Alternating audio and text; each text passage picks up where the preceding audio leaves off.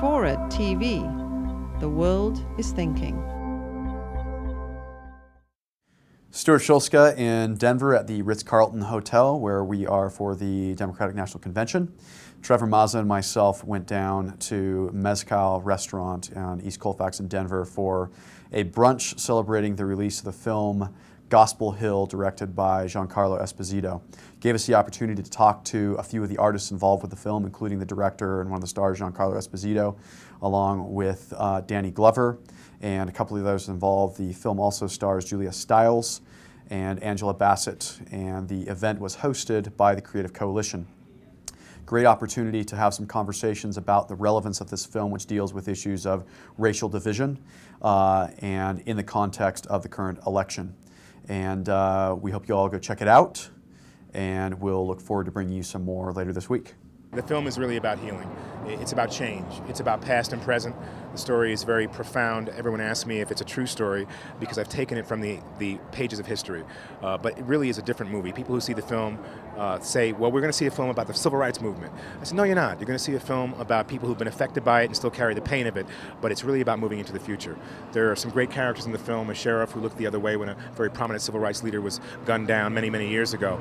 And he's um, a bigot and still a racist, but that's what he knew. That's what he grew up with. And there's some profound scenes in the movie where he says, you know, his son approaches him and says, well, you know what, who's the nigger now? You know, you're always placing blame on someone else. And he says, Do you think I want to feel this way? That's what the movie's about.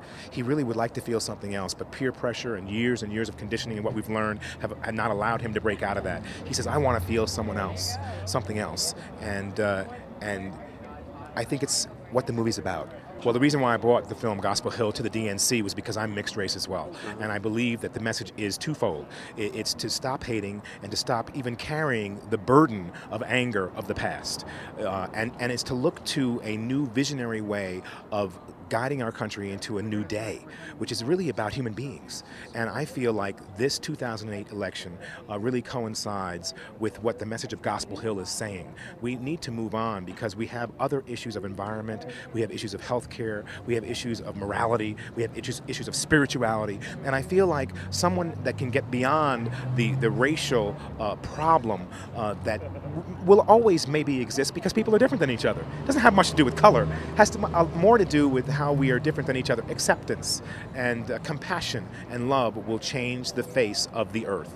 And it'll, it'll help us understand more about our environment and more about each other. The, the country, some people in the country say, we're not ready for a black president yet, but th th that is such a, a very old and very antiquated way of thinking. We're ready for a new leadership without colorless, colorblind, and I think we're on our way to that now. Well, I think for me as a filmmaker making the film, I was affected a lot by what we were about to come to. And uh, this film almost had a violent ending. And I realized that, you know, if I had a violent ending on the movie, it would really um, kill the hope and I'm glad I didn't because I wouldn't be here if I had a violent ending. I decided that I wanted to leave people with a hopeful moment, uh, a moment where people said, oh, something can be different. It's not about this. And one of the main characters in my film, Jack Herod, who's a white man, is begging to, to break out of that skin. The other character, Danny Glover, who is a black man who is carrying the weight of pain of his father's death for so many years, breaks out of his skin. Transformation. I think it's eminent in our society, it's eminent in our own beings, and I think it can happen. Um, I think we really want to be people who uh, are are um, helping each other and moving each other to the next level. And I think the time is now, and it's it's it's for the people by the people. And I think the majority of the people want change, and, and we're here to support that change. What, uh, what is your relationship to the Creative Coalition and to this film? Well, um, I I was at the last Democratic Convention uh, as a delegate with Creative Coalition. I've worked with them for a few years, and uh, they do really very good work in supporting um, arts le legislation. And Giancarlo Esposito, I worked with on Broadway um, a few years back in a play called Sacrilege, and uh, I'm a great admirer of, of his work. He's an amazing actor. Uh, would, would, you, would you speak for one moment just to what his particular talent is, what his uh, what you think his his genius is? Well, he's he's an actor. He has the ability to uh, step into another human being's shoes and become that person temporarily.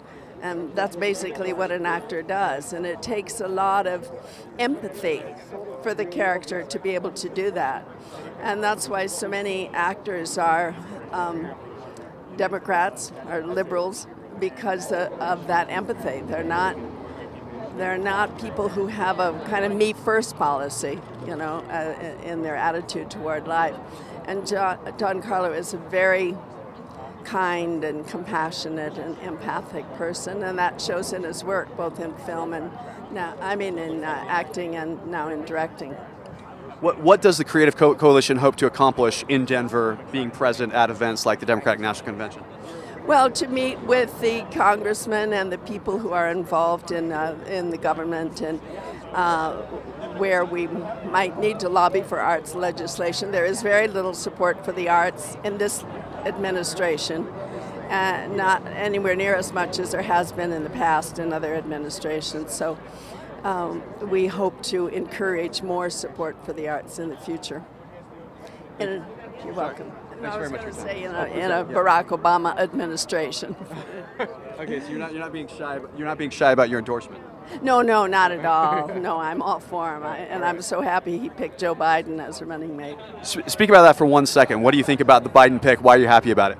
I was hoping he'd pick Joe Biden because of his enormous foreign policy experience, and he's, you know, he speaks his mind. You never walk away from Joe Biden saying, "I wonder what he really thinks." And um, I think in Washington, all of the spontaneity we can get is welcomed. Is there anybody that John McCain could pick that would get you to give him your vote? No. Thank you very much. Quick question Why are you passionate about this film, Gospel Hill?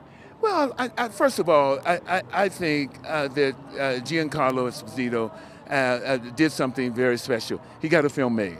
And they got a film made about a subject that often people, uh, this is what they call in the business a soft film. So it's going to take a lot of energy, a lot of discussion. It's the kind of film that you're going to have to be passionate about doing and passionate about getting done, getting people out to see it. That's how this is going to work. But it's a very, it's a, it's a common story. It's a story that we don't often find too much. We may often look at the personal dilemma the personal dilemma of people, but what is the collective manifestation of that? How does that collect that personal dilemma manifest itself in what is happening, what is happening for a period of time in this country's history? If we trace Malcolm, if we trace my, my, my, my life and my father's life, we see a part of a, a struggle, a part of a, a, struggle for change in this country. What did that change represent? Was it real change? Was it substantive change? Or did it, uh, did it represent something else? What did it do in terms of disinvesting, disinvesting or, or, or, or from, from communities? Within the, in the Northeast and other country, communities that were manufacturing cities, small manufacturing cities, Passaic, New York. We can name a list of them. Um, um, uh, Michael Moore talks about that from the town he's from in Michigan. And you know, in these cities, they were manufacturing cities, good paying union jobs. These jobs were now outsourced, or these companies moved south where labor was cheaper, there was a right to work, there were no unions, and what happened where they would those those jobs build communities, and those jobs left and went overseas. That's the history of that. What is the social fabric, and what is the in, what is the life of individuals around that? Whether they're white, they're black, they're part of a community, and that's I think this film is uh, important to look at this, especially now especially now when we talk about what does it happen, what is happening in our community. What do we mean in the 21st century of building communities, communities that are prosperous, jobs that are, are uh, that provide living wages, and jobs that are that are in, in, uh, uh, that build families. Thank you so thank you so much. And one more quick question: uh, What do you think of Joe Biden as a pick for vice president? Um, I don't know uh, uh, enough about Joe Biden, Biden, but I've, I've uh, there are occasions that when I've uh, seen him in the past and talk, I think I think it's a it's, it's a good choice. I, I would have to believe it's a good choice because I'm gonna go out there and campaign for it as a ticket. So I believe it's a good choice. We hope you enjoyed that. We will be coming to you with a number of interviews and other great programs throughout the convention week, and we're looking forward to sharing those with you. And if I didn't mention it already, we love the Ritz Carlton.